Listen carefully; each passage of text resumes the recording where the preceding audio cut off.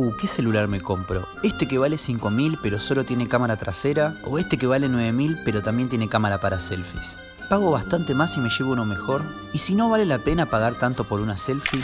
Ah, pará, también está este de 15000 con mega zoom, detector de huella, cuatro cámaras. Bueno, no, el último es muy caro, yo no necesito un mega zoom.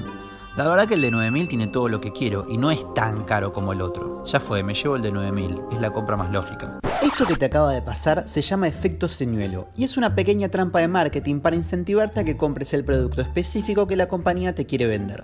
Consiste básicamente en ofrecerte una tercera opción poco tentadora para que termines eligiendo la del medio, que es la cara y la que te quieren vender. Y así compramos felices, porque logramos resolver las dos cosas que jugaban en contra. Comprarte uno lindo, pero no pagar tanto. Como este truco hay muchísimos y en los próximos videos le vamos a ir contando muchos más, así que acordate de seguirnos y comentar.